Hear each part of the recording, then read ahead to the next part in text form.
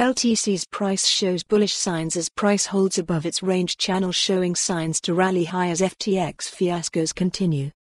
LTC's price trades above $60 with the market's current state, as things look uncertain for most traders and investors. LTC's price bounces from a low of $50 on the daily time frame as the price aims for a rally to $70 above the 50 exponential moving average, EMA. The price action displayed by Litecoin, LTC, in recent times has been encouraging after the FTX saga that has troubled the hearts of many traders and investors, giving many a reason to be hopeful.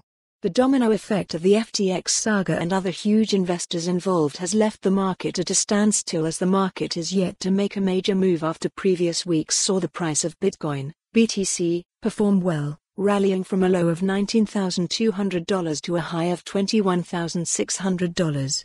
Most altcoins trend higher as many produced gains of over 200%, including Doge rallying from a region of 55 cents to a high of 15 cents.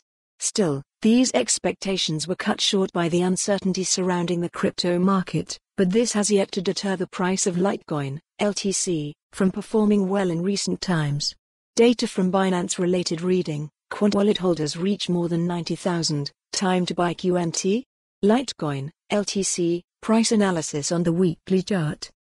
The past few days have been filled with so much turbulence in the crypto space as many altcoins have struggled to show strength after follow the URL for the full article for more on this story, visit the news article link.